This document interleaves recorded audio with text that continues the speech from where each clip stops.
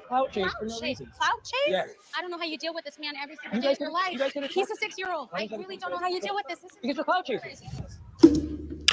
Ooh, baby, they trying to go at it. Listen, hey guys, welcome to Little Black Book 91. Little Black Book, you know what time it is. We're talking to you guys obviously about Love Is Blind. Specifically, we're talking about Jackie and Marshall. Sorry, Jackie and Josh and the Monica situation. If you didn't already know, newsflash, Monica and Josh actually did have a little thing where they were going to go to the altar. So originally it was meant to be Monica and Josh. She actually got a ring and everything. Um, went to the but they went to the altar, didn't go through, and then obviously Josh actually ended up with Jackie. That's why there's so much heat in this conversation because there's an unspoken thing that's happened, which is them two actually had a relationship. So whilst he was getting to know Jackie and talking about all the things he's doing, he was also getting to know Monica. And I'm guessing that's a sticky point for Monica. I'm guessing that's a part that she feels a little bit hurt by, and I'm not sure she's able to tell the full truth in that in that situation. Now, this is part one of two because Monica and, and Monica and uh, Jackie had their own conversation, which I think is really important to discuss. But on this one, we're going to discuss Monica and Josh and the actual beef. It was a stupid beef. I can be honest with you, and the escalation of it was just dumb. And the reason being is because I think they haven't spoken for a little while. But number two, also because none of them are actually trying to listen to one another, and nobody set the rules of the engagement. So it was willing to go anywhere and everywhere and nowhere.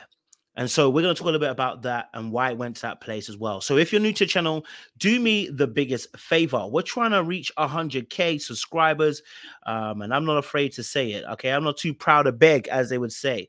Um, so if you haven't done so already, please subscribe to this channel and then click on that black on that bell button. Click on the black one that will let you know of the uploads and the lives and the community pages um, uploads that we do as well. And for those of you again who are new like it and share with somebody who else loves love is blind because we want to we want to we want to share the love around all right okay because we're gonna make it happen today okay? Uh, and for those of you are returnees then you already know what the minerals are baby. You got the minerals you got the minerals. Stay hydrated because the streets out there are hot. All right let's break it down. Let's get deeper into the situation. Now we have a bit of background and we know that these two actually dated. We can probably see a little bit more of why there's animosity Josh, Why didn't you deny because I. It's Exactly, because you know- have to be- because you're such a horrible human being I that you have to- actually have to make things up. It's so sad. So we got these two going at it to the highest hill, right? She's calling him a horrible human being. He's a six-year-old. He's saying she's a clout chaser and she clout chased.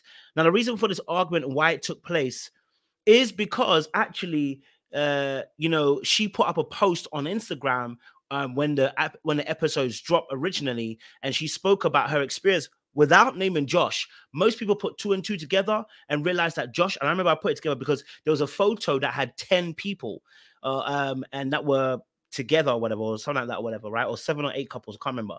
And one of them was Josh. And I was like, wait, hold on a minute. Why is Josh in the photo? Because he never got married, right? We know he didn't get married, right? Or we know that he didn't go to the altar, or at least he didn't propose to anybody. And then we found out, no, he did. He proposed to Monica, right? Because Monica was when you when you launched out all the couples that had got together, it all made sense except two people, Monica and whoever was on the other side, which was the boy side, which was Josh. So I was like, oh, okay, no. That means them two also dated. And a lot of people put two and two together as well. So Monica and Josh obviously dated, got engaged, and obviously it didn't go anywhere. And there are issues because Josh doesn't like Monica, apparently, and he feels some type of way. And he explains the reason why is because when she put that post, he feels she's, she's clout chasing. She feels like he's trying to restrict her speech. Also, she doesn't like Josh. She thinks Josh is a horrible human being. So you've gone from proposing to me to now being a horrible human being. Is he really a horrible, horrible um, human being, or are you are you a little bit jilted? Are you a little bit hurt by the fact that he didn't choose you, but he chose Jackie? And yet you still want to be friends with Jackie. And I can see why he doesn't want you to be friends with Jackie. Because if you're about to lay your poison into her, I don't want you around either. Whether I like Josh and Jackie's situation or not, they got to protect their relationship. And you being around is a problem. Actually, relationships should protect themselves from people like Monica who are willing to spill some poison into relationship. She spoke about how I've never, you know, I've never, um, I've always supported your relationship. I've always made sure that you guys, I'm always rooting for you guys, right? Cool. But at the same time, you, your opinion of him is a, he's a six year old. That's what you told him to his face. He's a six year old. And then you said, I can't believe you're even date. I can't believe it. How do you even deal with him on a daily basis? Babe, on that note, on that basis, yeah, it's gonna be tough. It's gonna be tough to want you around. It's gonna be tough to want to keep you around because you're at you're you're you're now you're now you're now talking about her man in a particular way that's derogative. Let's have a look. Josh, Why didn't you deny it? because I. It's Exactly. Because you know. because you're such a horrible. Sorry. If I would have, if I have, you're trying to clout chase. anything. You're trying to clout chase for no chase. reason. Clout chase? Yeah. I don't know how you deal with this man every single You day of your life. So, of course, now what, what do you think is going to happen? Is Jackie going to choose you, or is she going to choose uh, uh, her man? She told us very, very clearly. Jackie said, "My man, my man, my man, my man, my man. I'm going to choose my man every day." So now Monica's lost out on a friendship because really and truly, as much as Monica may be a friend to Jessica, to to, to Jackie, sorry. Jackie's loyalty lies with whoever she's in love with. You see, Jackie's one of those people, similar to myself too, right? We love, we we we put a lot of our lo- love and trust and fidelity on the person that we're in love with. It's actually partly good, but it's also trauma effect, right? So when you can't trust many people, you expect your partner to be the one person you can trust in the whole entire world. And the problem with that is that you put my man, my man, my man, my man energy into the atmosphere. Now, I don't want to go too deep in this. I want to do a separate video on this, talk about my man, my man, my man. And it's real because what happens is you don't trust your friends as much and but you put all that emphasis that you should put on your friends onto that one person in the relationship. The moment they break your trust, there's going to be hell to pay, right? Because you've put all your love, all your energy, all your faith, all your trust into that one person, expecting them to be Superman for you or Superwoman for you because other people have let you down. That's dangerous place to be.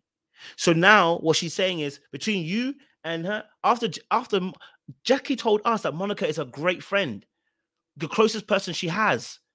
And yet she's willing to ditch her for Josh. Why? Again, like I said, the need to rewrite history of people that have let her down. She she has put all her eggs in one basket that her man will. Let's have a look. You guys could have. He's a six-year-old. I really don't know how you deal with this. This is Because you're clout chasing. Josh, Why didn't you deny because I. It's so Exactly, because you know. because you're such a horrible human being.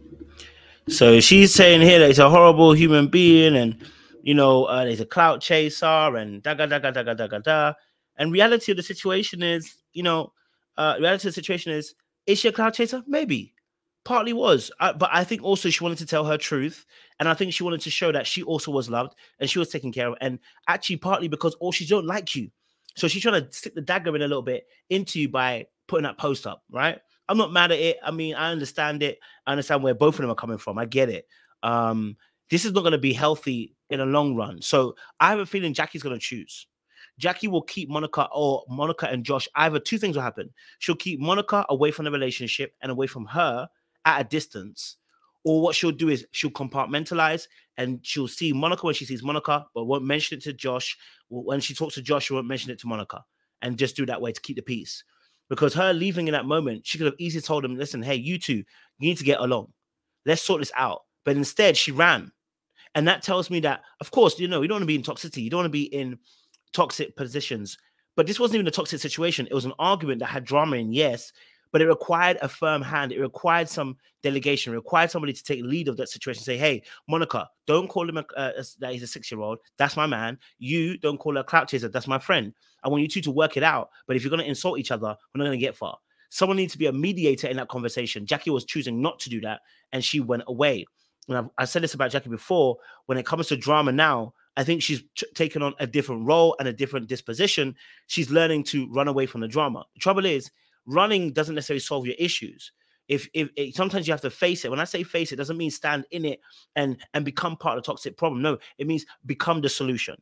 Begin to work out solutions. How do I mitigate this situation? What am I hearing from both sides? Now, of course, someone might say it's a counselor's job, and maybe it is, but you know, I felt like that was the only way that was going to sort that situation out. Um, and instead, she ended up going away, and these two end up going back and forth. Even when Jackie left, neither of these people looked at. Watch, look. But I think you that's what- actually have to make things up. It's so sad that you have to See, deflect. and now you're trying to- you're trying to you say- have to deflect I'm because you know anybody can say anything, just like you're saying Oh, whatever. okay. Look, all the time they're talking, Jackie done left, and none of them are focused on Jackie. Both of them were so focused on each other, so focused on winning the argument, nobody even realized Jackie had gone. And until he decided to end it and be like, you know what, frick it doesn't, I don't really care anymore, and then go go to see Jackie, that was the only time. Now, actually, what happens after is really interesting as well. We can do a video about that.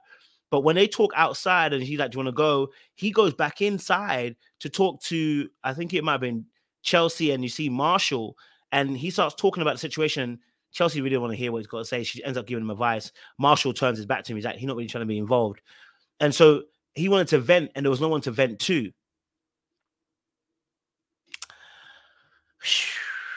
Political situation, right? So listen, I, I'm gonna leave it there. You, I think the best friend uh, situation with with uh, Monica and Josh is easily solved by someone mediating and then having a conversation about things. But let me know your thoughts down below, guys. What do you guys think? Um, do you disagree?